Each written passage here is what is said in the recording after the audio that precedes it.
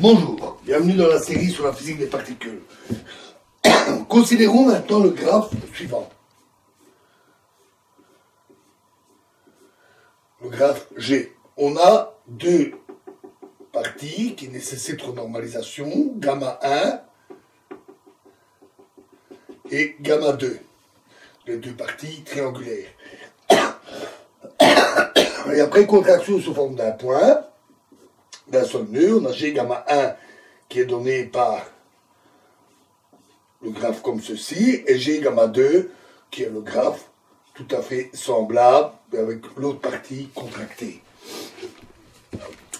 G est superficiellement divergent, oméga G égale 2 ainsi que les deux parties à renormaliser, gamma 1 et gamma 2, qui ont oméga gamma 1 et oméga gamma 2 égale à 0. Ici, on a un nouveau phénomène. Gamma 1 et gamma 2 ne sont ni emboîtés, ni disjoints, mais ils se superposent. Ils partagent une ligne et, deux nœuds. Mais aucun n'est inclus dans l'autre. Par conséquent, l'équation de Bogoliubov donne R bar G est égal à IG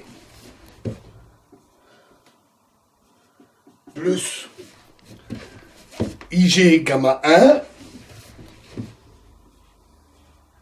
Donc on fait les sommes sur les ensembles de graphes disjoints. Ici, ils ne sont pas disjoints, donc on a deux sommes deux termes séparés, moins t gamma 1 r, r bar gamma 1 plus i g gamma 2 moins t gamma 2 r bar gamma 2. On a aussi r gamma 1 égale i gamma 1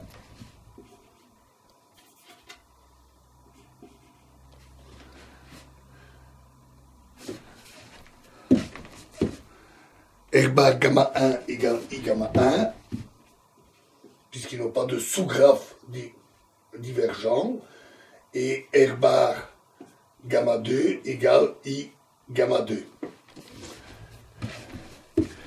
Si on écrit T gamma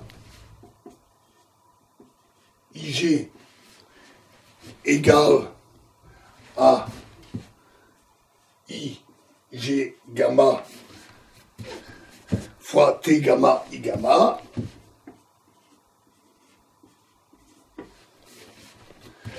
Alors, on a finalement que R bar G est égal à 1 moins T gamma 1 moins T gamma 2 fois IG. Et RG égale 1 moins TG, euh, pardon, 1 moins TG fois R bar G, c'est-à-dire 1 moins TG fois 1 moins T gamma 1 moins T gamma 2 IG. On observe que RG n'est pas égal à 1 moins TG fois 1 moins t gamma 1 fois 1 moins t gamma 2. Comme on l'aurait obtenu avec la, situation précédente, fois IG, bien sûr. Le terme euh, supplémentaire, qui est 1 moins tg fois t gamma 1, t gamma 2, correspond juste au, sous-diagramme gamma 1 inter gamma 2, qui n'est pas, qui n'a pas à être normalisé, il n'a pas de contre-terme. On reverra ce diagramme particulier dans, euh, dans le cas de l'électrodynamique quantique un peu plus tard. Les exemples précédents suggèrent la solution générale de l'équation récursive. En suivant Zimmermann, on appelle une forêt de parties renormalisées ou à renormaliser, euh, qui est définie comme une famille grand U de sous-diagrammes, de sous-diagrammes propres gamma, superficiellement divergents, tels que si gamma 1, gamma 2 appartiennent à U, alors gamma 1 est inclus à gamma 2, ou bien gamma 2 est inclus à gamma 1, ou alors gamma 1, gamma 2 sont disjoints. Donc une forêt est un ensemble de sous-diagrammes propres, superficiellement divergents, emboîtés les uns dans l'autre ou disjoints. on appelle cela donc une forêt. Rappelons que gamma 1 inter gamma 2 égale vide signifie que ces sous-diagrammes n'ont en commun ni nœud ni ligne. Une forêt peut être vide. De plus, appelons V les forêts de G telles que si G est lui-même superficiellement divergent, alors G n'appartient pas à V. Bien sûr, euh, si G n'est pas superficiellement divergent, les deux ensembles de forêts U et V sont identiques. par contre, si G est superficiellement divergent, on le retrouve dans les forêts ici, mais pas ici. Si un ensemble consistant de moments internes a été défini pour donner un sens aux opérations T-gamma, deux telles opérations liées à gamma 1 et gamma 2 disjoints commutent. Tandis que si gamma 1 est inclus à gamma 2, alors c'est sous-entendu que T gamma 1 sera à droite de T gamma 2. Et dans ce cas, euh, la solution générale à l'équation récursive, c'est R bar G est égal à la somme sur les forêts V fois le produit sur les gamma appartenant à V de moins T gamma I, euh, I gamma. IG, pardon. Et RG égale la somme sur U des gamma appartenant à U des moins T gamma IG. Alors on va montrer que c'est bien la solution générale. Tout d'abord, remarquons que à la forêt vide correspond le terme IG. Ensuite, si G est une partie qui est à renormaliser, on peut associer à tout V deux forêts du type, de type U. U 1 est égal à V, et U2, puisqu'une forêt de type V est aussi une de type U, et U2 égale G union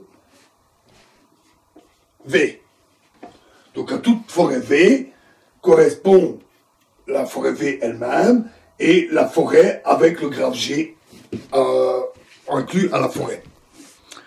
Donc cette équation conduit dans ce cas à RG est égal à 1 moins TG fois R bar G. Tandis que si le graphe lui-même n'est pas superficiellement divergent, oméga G négatif, RG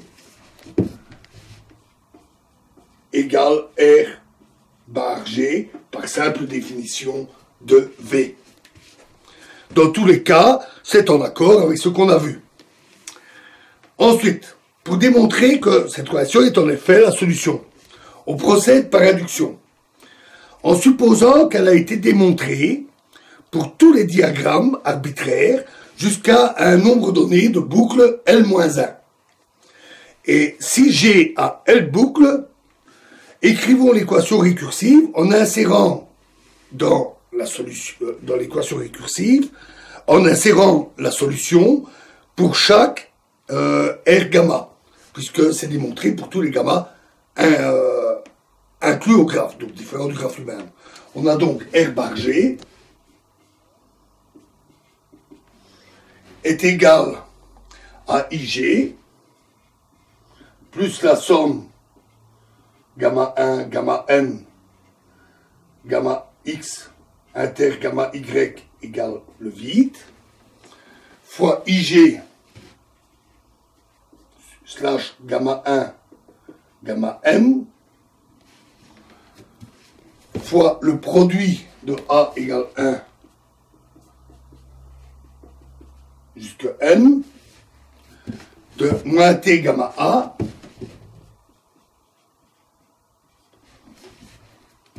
fois la somme sur V gamma A, donc là on remplace la solution,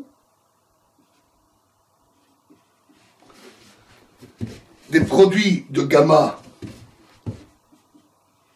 appartenant à V gamma A de moins euh, de gamma prime appartenant à V gamma A de, de moins T gamma prime fois IG. Euh, I gamma A, pardon.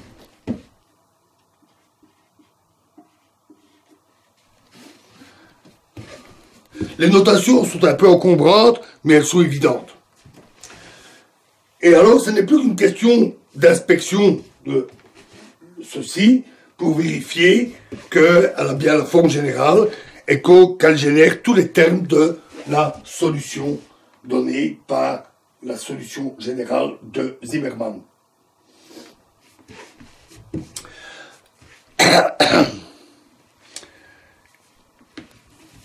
Et tous ces termes correspondent aux forêts des éléments extrêmes gamma 1, gamma n. Par définition, un élément euh, extrême d'une forêt est un élément 1 gamma qui n'est inclus dans aucun autre de la forêt. Donc c'est le sommet. La somme sur les ensembles disjoints gamma 1, gamma n génère toutes les forêts de G une et une seule fois. Alors, jusqu'ici, nous avons été assez discrets sur le choix des conditions de normalisation. Euh, puisque la nature de la soustraction avec le développement de Taylor dépend de ce choix, le plus pratique est la renormalisation intermédiaire qu'on a vu avant, c'est-à-dire la soustraction à moment égal à zéro. Quand on fait la soustraction à un point différent, quand un point différent est choisi, par exemple, dans les théories sans masse, où la soustraction à moment nul est interdite, on y reviendra, on doit faire attention pour maintenir l'invariance de Lorentz. Voilà, et nous continuerons toute cette étude dans la prochaine vidéo. Je vous remercie.